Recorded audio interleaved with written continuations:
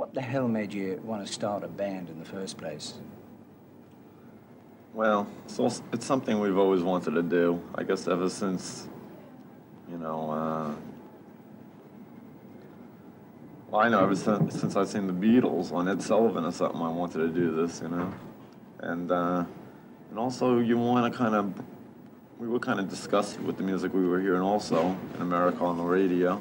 Everything's gotten very uh, fabricated and. Uh, it's not real anymore. It's not uh, from the gut and soul anymore, and you want to do something about changing it and making things better, which uh, since the time we came out, things have totally changed and, and have gotten better in, in, a lot of senses, you know, as far as a whole like new wave of new music by people who do care, who want to see change and see something, uh, see music being bettered, you know.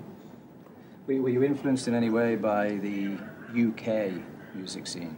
Well, yeah. we, we, were, we were here before it was there, you know, like when we started it was 74. At that time, the only music in the UK was uh, pub rock. That was the big music, uh, Dr. Feelgood. And when, and uh, when, we, when we went to England, uh, summer 76, um, we met the likes of those bands who were just forming their band, who were influenced by our first album. So, you know, when, like... Before any of the English groups put out an album, we were already up to uh, our third album. Right. By the time anyone, like the first Sex Pistols album came out or something like that. There are a lot of people who think that the UK music scene yeah. influenced the American thing. We're aware of that. and uh, the things you actually got into music for, because the things you were hearing at the time you were sick and tired of, you thought they were too stylized. Do you think you've had any influence in actually changing that? Really? Yeah, I think there's oh, been yeah, a, for I think, sure. I think there's been a big change. You know, anytime you have to get kids to feel like they can do it and uh, to go out and buy guitars and start bands and you know try to do something that's exciting and fresh instead of just uh, a bunch of old men playing stuff that uh, it's not rock and roll. Do you think it matters though whether the people are young or old who play the music? Well, they just have a um, not really, but as it turned out, that they just have this.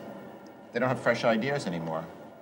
You know, you could be old and have fresh ideas, but you know, we're talking about the groups that have been around for so long.